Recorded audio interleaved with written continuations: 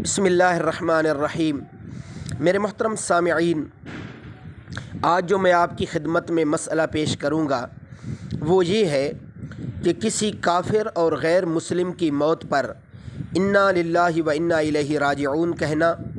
या उसे मगफूर मरहूम कहना,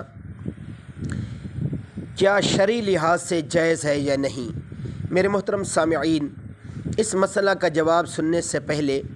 आप हजरात से गुजारिश है कि मेरा इस्लामी चैनल ज़ोकी इस्लाम ज़रूर सब्सक्राइब फरमा लीजिए और पहली बेल को दबा दीजिए ताकि आप तक रोज़ाना की बुनियाद पर मुस्ंद दीनी मसाइल पहुँचते रहें।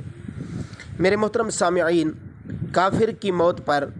इन्ना लिल्लाहि व इन्ना राजिऊन कहना या काफिर व गैर मुस्लिम के लिए मरहूम मगफूर कहना, ये बिल्कुल जायज़ नहीं है। कुरान पाक ने काफिर और गैर मुस्लिम की मगफ़रत की दुआ से बड़ा सख्ती से मना फरमाया है। लिहाजा ऐसा बंदा जो किसी काफिर व गैर मुस्लिम की मौत पर इन्ना व इन्ना राजिऊन कहता है या काफिर के लिए मरहूम मगफूर के कलिमात कहता है, उसे तौबा करनी चाहिए, क्योंकि वो कुरान पाक के हुक्म की सरी नाफरमानी कर रहा है। हाँ इस लिहाज से काफिर व गैर मुस्लिम की मौत पर अफसोस और दुख का इजहार किया जा सकता है कि ये बंदा गैर मुस्लिम था और ईमान व इस्लाम की दौलत से मरहूम होकर जो है सफ़र आखरत पर रवाना हुआ।